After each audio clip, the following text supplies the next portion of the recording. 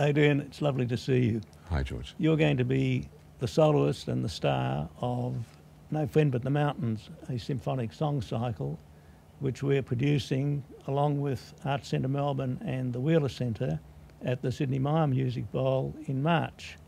Can you tell us a bit about No Friend But the Mountains, a symphonic song cycle? Yeah, well, um, it was written by Luke, a friend of mine who I'd worked with uh, in 2019.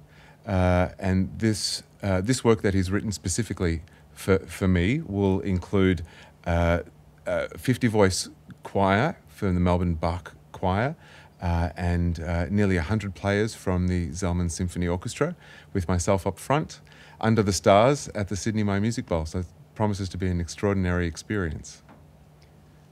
Adrian, it's based on the book written by Behrouz Boochani on Manus Island um, which was smuggled out in hundreds and thousands of WhatsApp messages. Mm. Um, how did you come to find out about it, and um, how did you react when you read the book? I was in Perth working on Luke's opera Ned Kelly for the festival in 2019. Uh, the book had just won the Victorian Premier's Literary Arts, uh, the Literary Prize. Uh, and it was a bit of contention because it was the first time that an author who was not an Australian citizen or an Australian uh, resident had actually won the award. And so, having seen that media coverage, I was immediately uh, interested to see what this book was about. So, I went to the first bookshop I could find and uh, found a copy of it and read it and was reading it during rehearsals. Mm-hmm. Uh, so, uh, the translator, um, Omid Tofighian, uh, uh, he had um, turned some of the prose into poetry. And reading the poetry, I could just sense the melody and the rhythm in the language and thought it'd be perfect to put to music. So I half jokingly uh, said to Luke, uh, it'd be nice to, for him to write me something.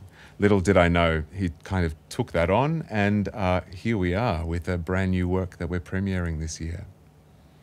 So, Adrian, how did we get from you saying to Luke, hey, write me a song cycle? Mm-hmm. Why don't you write me a song cycle? To doing it at the Sidney Myer Music Bowl with Zelman Symphony. Well, I'm used to singing song cycles with pianists. And Luke said, look, I don't really write for I don't really write piano music. Um, so when he came back to me, he said, let's find an orchestra who'll do this.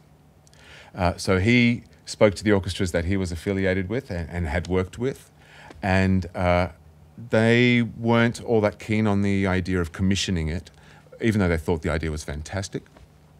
So I said to him, "Oh look, let me make one phone call. I think I know exactly the orchestra who would do it." And uh, I had worked with the Zelman Symphony Orchestra a couple of times. Uh, being a community orchestra, as you know, they're really agile and they can do amazing things. Uh, and uh, I had sung with the orchestra for their 80th anniversary, the Mahler 8th Symphony. And then later we'd worked together again on the Shostakovich 13th Symphony. And so when I uh, approached the orchestra about putting, commissioning this work and putting this on, um, you wholeheartedly, you know, agreed and wanted to be a part of this. And here we are. It's, you know, fabulous that I can share this with you after working with the orchestra so many times now. You've also done a, a um, Verdi Requiem with us. That is correct. Hmm.